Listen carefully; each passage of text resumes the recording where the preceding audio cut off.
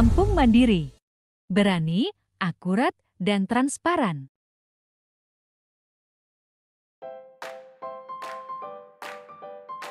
Lampung Mandiri TV Desa Tanjung Baru Kecamatan Bukit Kemuning Kabupaten Lampung Utara mendapatkan kepercayaan sebagai desa tempat mahasiswa Fakultas Keguruan dan Ilmu Pendidikan FKIP Universitas Lampung Unila untuk mengabdikan ilmunya kepada masyarakat dalam kegiatan kuliah kerja nyata KKN. Kegiatan KKN yang dimulai sejak tanggal 10 Januari hingga 24 Februari tersebut hari ini Jumat tanggal 25 Februari tahun 2022 ditutup. Mahasiswa Fakultas Keguruan dan Ilmu Pendidikan FKIP Universitas Lampung Unila mengadakan perpisahan. Meskipun diselenggarakan dengan sangat sederhana mengingat saat ini masih dalam masa pandemi COVID-19 acara yang berlangsung di Balai Desa Tanjung Baru tersebut sangatlah berkesan.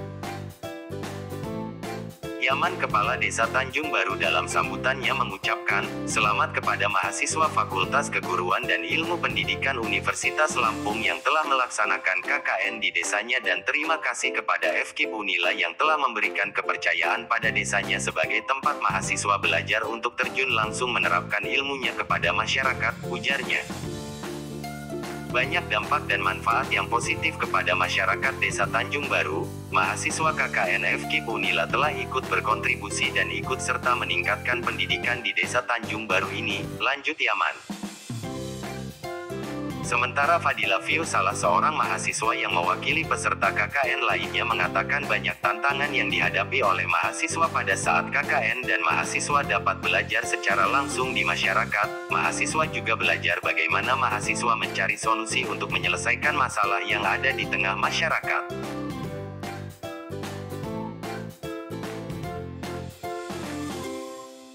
Yulia Hexa Pak. Oh iya, Yulia Hexa. Dari Dari Unila ya, Iya. iya dengan paknya masing-masing ya. Iya.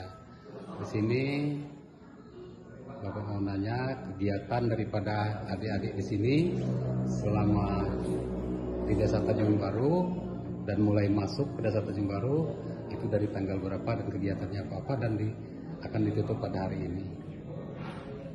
Baik kalau untuk KKN itu dimulai dari tanggal 10 Januari dan ditutup tanggal 18 Februari. Untuk kegiatan kami itu dari sektor-sektornya ada banyak Pak, ada dari pendidikan, kami melaksanakan bimbel, lalu ada kesehatan, kami melaksanakan sosialisasi cuci tangan dan juga gosok ada olahraga juga, lalu dari sektor keagamaan kami ada menghafal doa-doa pendek, lalu ada pengajian juga.